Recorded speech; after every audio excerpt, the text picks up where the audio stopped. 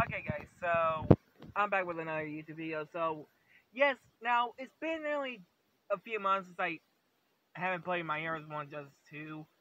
Uh, since after the last DLC character, Yuki, not Yuki, I'm thinking of Yuki from Yu-Gi-Oh! Uh, can't pronounce his name, but he's the sparkling one who likes cheese and all. But, yes, my thoughts about My ears was just two. Now, yes, when the game came out, they did put Japan dub in it.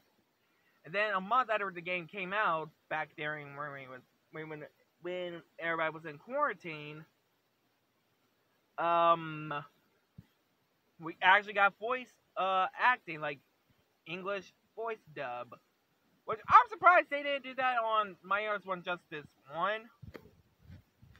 But yes, uh, glad they did. But we got new characters like Niger, Mia,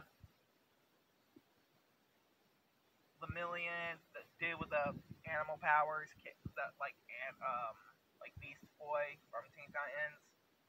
But yes, play the game on Xbox One. If you guys played it on whatever console you played it on, because I really did hope I really want to try it out on a Nintendo Switch if it's not too expensive. But um, anyway, guys, hope you guys like, comment, subscribe.